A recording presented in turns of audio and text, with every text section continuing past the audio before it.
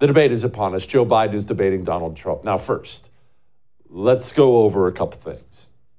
The rules of the debate are all stacked against Trump in the worst possible ways. And, and we'll, we'll go into it a little more detail about that. But, but, that's kind of the bad news on the, on the overview front. The good news on the overview, overview front is this Trump is so much more physically and mentally capable than Joe Biden. He just is. Joe Biden's no longer a functional adult. We have report after report after report from things like the G7, where they just met at, where people are leaking things saying the guy can't even function, can't hold a thought in his head. You can't keep him in the room. So, look, let's pretend like we've got a big fight coming, which essentially that's what this is the political version of a big fight. The most important thing, the most important thing, let's agree on this, in a fight, if there's going to be a boxing match, it's a boxing match, is having the better boxer. That's, if you had to pick one thing you were better at than the other guys were, it would be having the better boxer. And there's no question that we have the better boxer. Trump is simply more physically and mentally capable at this point than Joe Biden is. That's the good news. So the bad news is, well, it's all set up against him. The good news is he's the better fighter. Now, how do these things work? Because look, I, have said it a lot. I've said it many, many times, and I'll say it again after the debate is over. I'm really not interested in a bunch of preemptive whining or post debate whining about it being unfair and biased because it's CNN. It's a communist news network. They've always been unfair and biased. They always will be. If you were worried about it being unfair, why did you accept it?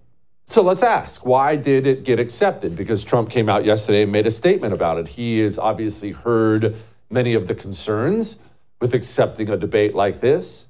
Two moderators who hate his guts, they cut off his microphone. It's on a TV network that's called him the second coming of Adolf Hitler for about eight years now. Hey, Trump, why would you accept it? And this is what he said. This is Trump's quote. Quote, they approached me with a debate that I couldn't take. They thought they would present it. I would say no. And they would say, we can't debate because Trump said no. So I said yes before they even gave me the terms. So he got roped into it. All right. Now, you may disagree or agree with what Trump just said. You may love it. You may hate it. You may love it, but kind of think it's naive and insane. Understand that this is what we know about Trump. We know this. We've had Sean Spicer on the show. He's very close with Trump. We've known this for the longest time. Trump has a I'll take anybody anytime mentality. Sean Spicer told us that when he was trying to get Trump to negotiate better terms. Trump said, nah, nah, I'll take him anytime, any place. That kind of bravado mentality. And I'll be honest with you, I like that. The, the, the Jesse and me, I like that a lot. Now, strategically, that's not smart. It's not. It's not smart to have taken this debate. It is not a smart political move because Trump is ahead. You see, we're in a game here. It's a very important game where their stakes are high, but this is a game. And Donald Trump is up by a touchdown, two touchdowns. Pick your sports reference and pick how much he's ahead.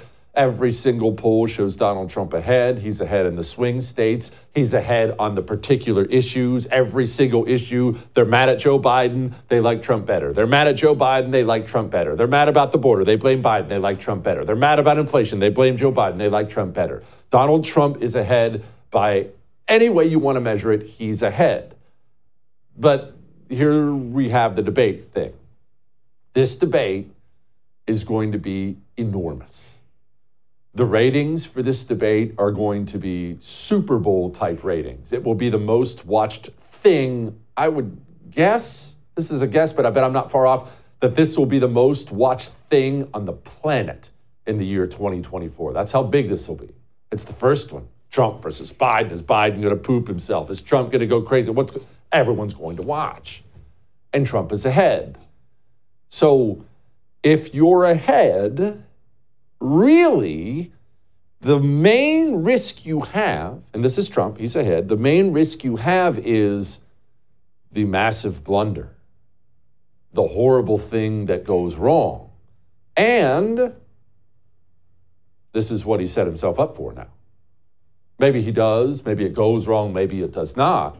But let's just put it this way the enemy, in order to overtake Trump in the public's view and the polls and everything else, the enemy needed a straight flush. He needed this to go right and this to go right and this to go right. And then at the end, he had to land the finishing blow. Well, by not even debating the terms, we gave him almost all that immediately. Can Joe Biden pull something off during the debate? I don't know. Trump is much better than him personally. I don't know. Let's not do the thing either where we get so caught up in bravado, we discount the moderators. If you've watched debates for any length of time, whether they be primary debates, general election debates, you already know moderators are enormous during a debate. They are huge, they control so much. And Jake Tapper is one of the moderators. If you were to open up a copy of Hitler's Mein Kampf, you would find the Nazi leader describing the mixing of non Germans with Germans as poisoning. The Jew, Hitler wrote, quote, poisons the blood of others. This, according to Hitler, posed an existential threat to Germany because, quote, all great cultures of the past perished only because the originally creative race died out from blood poisoning, unquote. There's really no other way to say it. Donald Trump's language mirrors this directly. But now the Trump presidency is coming to an end. To an end.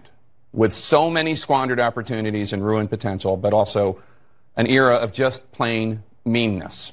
It must be said, to paraphrase President Ford, for tens of millions of our fellow Americans, their long national nightmare is over. We didn't even check terms we just accepted a debate with that guy moderating? Oh, but no, no, he's not alone, you see. Jake Tapper will have, will have a co-worker there. Her name's Dana Bash. This Dana Bash. Unfortunately for America, the court isn't necessarily wrong that this is the way the framers wanted it to be. They wanted Congress, the people who are closest to their constituents to be able to make the, the rules of the laws. Unfortunately for America, what was she referencing there? Trump not being taken off the ballot. That Dana Bash is married. Did you know that? Do you remember? Do you remember the Hunter Biden laptop and how there was a letter from all these spies? 51 spies signed a letter saying that's Russian disinformation, a blatant lie. We know now it's a lie. You know, one of those spies was Dana Bash's husband. These are the two people who are going to be moderating the debate. I, what you want me to say? Trump's own press secretary can't finish a sentence before getting cut off and run off CNN. It's so it takes someone five minutes to Google Jake Tapper, Donald Trump, to see that Jake Tapper has ma'am, consistently stop this interview if you're going to keep President attacking Trump my colleagues. Adolf Hitler. Uh, ma'am, I, am going to stop no, this interview I'm, if you I'm continue stating, to attack my colleagues. I would like to talk about I Joe Biden stating, and Donald Trump, who you work for. Yes. If you are here to speak on his behalf, and I, I am willing to have this conversation. I am stating facts that your colleagues have stated in the past. Okay. Now, uh, as I'm for sorry, this guys. debate, We're going to come back out to the panel. for, Caroline, thank you very much for your time. You are welcome to come back at any point. She is welcome to come back and speak about Donald Trump, and Donald Trump will have equal time to Joe Biden when they both join us now at next early later this week in Atlanta for this debate. And this is where the most watched television event of the year, this is where it will be watched. And moderators are enormous. Speaking of that Hunter Biden laptop, the disinformation, you've seen this clip a million times. We played it for you a million times on this show. Joe Biden saying, ah, it's Russian disinformation. Trump correctly jumping in and saying, what? That's crazy. And everyone focuses on what Biden says because he's lying or what Trump says because he's right. But what people miss is how quickly the, de- the debate moderator jumps on the grenade, the live grenade for Joe Biden. Whoa, whoa, whoa, let's not talk about that. Back to race. Because look, Very there are 50 former national intelligence folks who said that what this he's accusing me of is a Russian plant. They have said that this is has all the char- four, five former heads of the CIA, both parties say what he's saying is a bunch of garbage. Nobody believes it except the, his and his good friend Rudy Giuliani. You mean the laptop is now another Russia, Russia, Russia hoax? And You that's be- exactly what- Is this that's where you're exactly going? what This is told. where he's going. The That- All right. laptop is Russia, Yeah. Russia, Gentlemen, Russia. I want to stay on the issue of race. you okay? have to be kidding. Here we go President, again with Russia. Trump is more capable than Joe Biden in every possible way more energy, smarter, just physically, mentally more capable. Donald Trump is ahead. Things are looking good. Don't count your chickens, of course. It's a long way until November, but things are looking good. Really, the only way things could go bad for us right now is if we walk into a nationally, internationally televised debate disaster. I'm not anticipating that. I'm really not. But we have set up for a debate disaster. Will it happen? I pray to God not. But we certainly have handed them all the ingredients for a bomb to go off. Whether they put it together right or not, I don't know. But cross your fingers and say a prayer.